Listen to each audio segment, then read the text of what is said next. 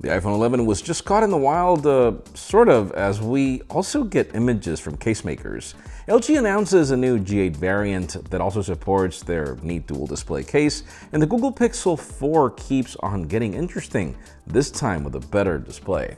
I'm Jaime Rivera, one more time from the hotel room here at IFA. We're actually going to Pepcom from here. It's been a crazy day, and this is the time that I have to record to get the video out on time for you guys. Got a ton of coverage already up and more coming up. This is Pocketnow Daily.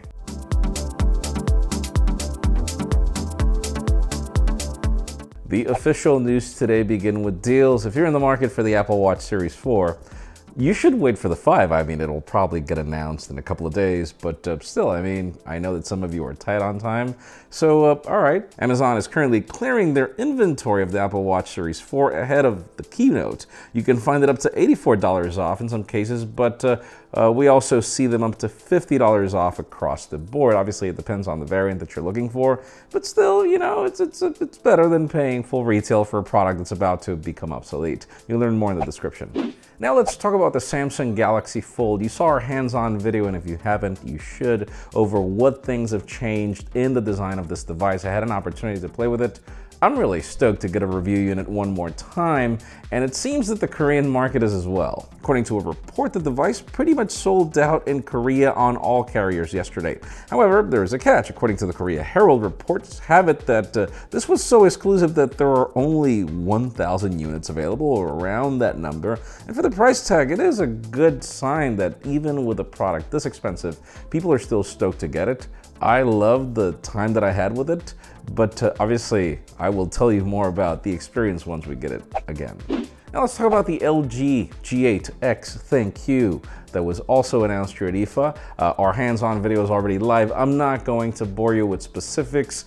This is a really interesting approach because LG doesn't yet believe in foldables even though they do make flexible OLEDs.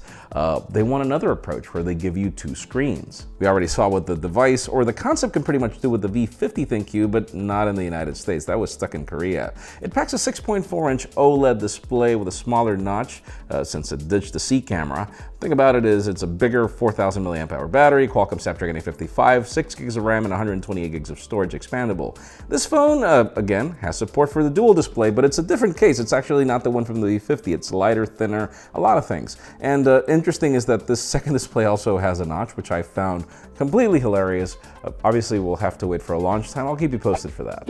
Now, one device that went completely under the radar, but we've been covering rumors, and it finally got announced yesterday, is that Motorola One Zoom device. It has a 6.4 inch display with a water drop notch, a Snapdragon 675, 4 gigs of RAM, 128 gigs of storage. Its main selling point is the quad camera setup, which packs a 48 megapixel primary, 16 megapixel ultra wide lens, 5 megapixel depth sensor, and an 8 megapixel telephoto that can shoot up to 10x zoom.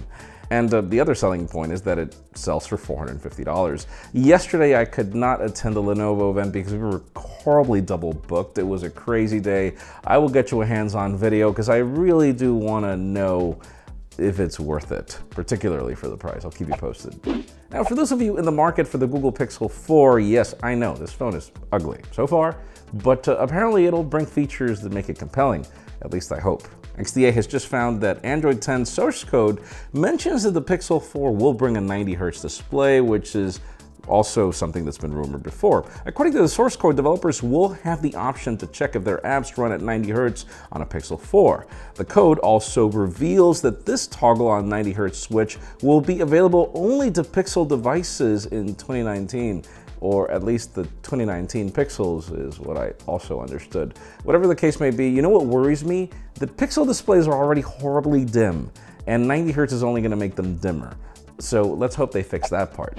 And finally, the hottest news today have to do with the iPhone 11, iPhone 11 Pro, iPhone 11 Pro Max. I know the names are horrible, but this is not the case. Right now, it seems that because of a recent leak, somebody's either going to lose their job or whatever the case may be. We started the day with a lot of leaks of dummy devices, which is expected. Uh, these come from case makers, and obviously, by the time we get those, it's pretty much legit. But uh, it looks like uh, it was also found or spotted in the wild by somebody who fell asleep on a subway and was holding the phone in their hands. This appeared in Weibo.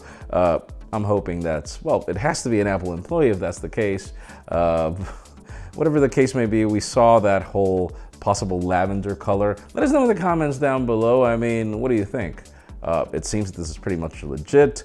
Do you like what you see, even if the photo's a little blurry? Do you think the guy should lose his job or that Apple should be a little more compassionate? Because in my case, I mean, come on. Uh, Apple, your cycle remains relevant because of the leaks. So if anything, you should thank the guy and get the guy promoted. But that's just me. Leave us a comment down below. We'd love to know your opinion. Once again, if you want to get the news earlier, follow us on PocketNow.com and subscribe to our channels English and Spanish for more videos like this one. Also follow us on social medias. Our extended coverage happens on Instagram and follow me on my personal accounts to see what I do here in Berlin. Please give this video a thumbs up if you like what you saw. I'm Jaime Rivera. Thanks so much for watching. Over the weekend, we will see you with more hands-on videos.